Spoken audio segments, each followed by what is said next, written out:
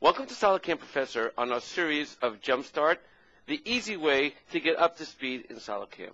I'm Sidney, your SolidCAM Professor, and in this session, we're doing part five of our first lesson. Now that we've completed our profile operation, let's simulate our toolpath. This time, we'll take a look at our simulation in Solid Verify. In our dialog window, we will click on the SolidVerify tab. Viewing our simulation with the single step button, we can watch the tool come in, complete with the holder, and lead into our profile cut. As we continue through, we see it makes three profile passes around our part, then comes back in for our finished pass. Now, let's run through the simulation once more by pressing the play button. But this time, let's stop in the middle by pressing the pause button if we want to start this operation over from the beginning, we just come up to our CAM manager, select the operation we are viewing, and it will move us back to the beginning of the operation.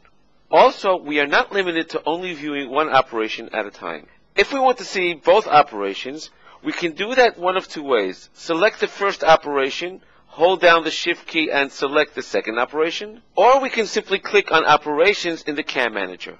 Instead of using the single step button for playback, we can use the J operation button. Even with multiple operations selected, this button will allow us to simulate through only one operation at a time. Clicking it once will simulate only the face milling operation and stop. Clicking it again will simulate only the profile operation.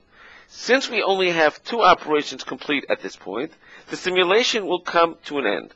Of course, with both operations selected, if we click the play button, it will simulate through all of the selected operations. That concludes part five in our first lesson in the series of Jumpstart. Thank you for joining us on SolidCAM Professor. Take care and have a nice day.